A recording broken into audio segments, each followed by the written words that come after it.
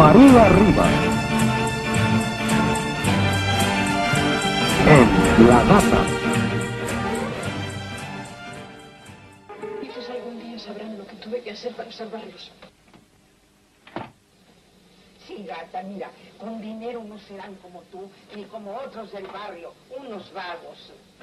Hasta que en 1983 llegó la oportunidad de audicionar para protagonizar una historia que, curiosamente, la Rufo se sabía a la perfección. La Gata.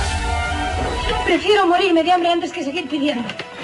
Yo soy muy grande, doña Tila. Pues tienes que buscar dinero para comer pidiendo limosna. La primera novela que yo recuerdo que me eché así completita fue La Gata. Y pues años después fue mi primer protagónico, La Fiera.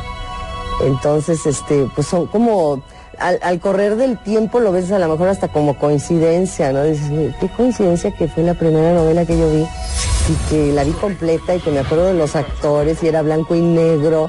Y, y- en lugar de estar viendo caricaturas me ponía yo a ver telenovelas. Cuando hice La Gata, eh, tuvo un éxito increíble en México.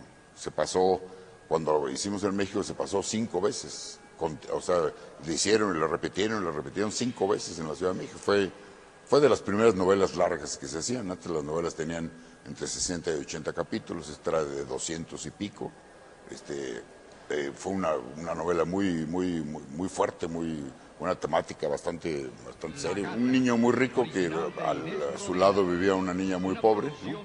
y este, se enamoraban ellos dos. Los padres no querían que se casaran, una especie de Romeo y Julieta, ¿no?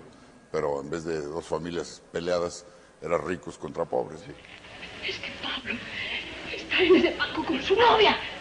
Ya no puedo más, doña Mercedes. Silencio. ¿Quién me calla? Hay personas de tan mala educación. Se creen que un teatro es un potrero. Por favor, seré